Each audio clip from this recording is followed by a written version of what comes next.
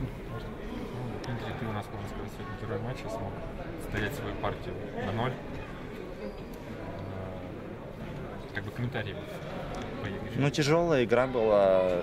Мы владели преимуществом территориальным, но как бы не могли долго воплотить это в забитые голы. Ну, как бы 1-0, счет довольно скользкий.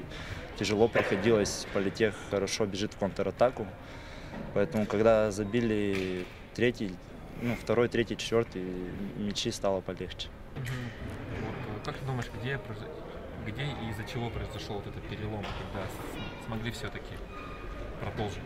Ну, думаю, мы просто продолжали гнуть свою линию, выполнять тренерскую установку, и как бы так произошло. Не знаю, чем еще объяснить. Всё, спасибо. Спасибо.